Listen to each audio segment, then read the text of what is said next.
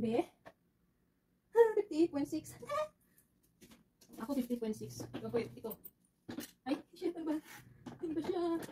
Hindi siya pa siya sa kilos. Paano kung kikita? Bunot ba?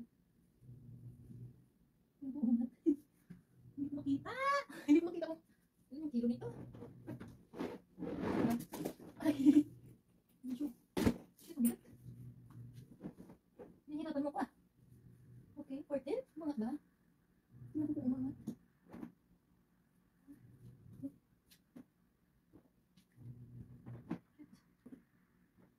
14. 14 na siya. Ayan, 14 na. Ay. Ito kung maano dyan. Ano Mahal hindi ko masyadong ano. Hindi ko masyadong puro.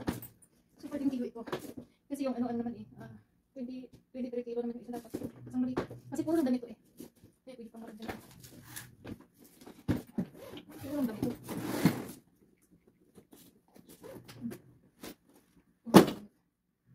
Pwede pang malagyan dito sa taas. Yan. Kahit ng bra. Ito binigyan sa akin to. Shein. May mga sandals pa mga sapatos. Hindi pa malagyan sa taas. Hindi maka mag-ubag. Ay, ito, ang hirap. Sayang yung mga ano, sayang yung mga dala, yung pinaghirapan na matapon lang sa, sa airport, di ba? Dapat kiluhin na yan. Kiluhin ng, kiluhin bago pupunta ng airport. Pa, dapat safe yung mga ano natin bagahe. Kasi mahirap na, baka mabuksan, di ba? Lang. Isang malita pa yun,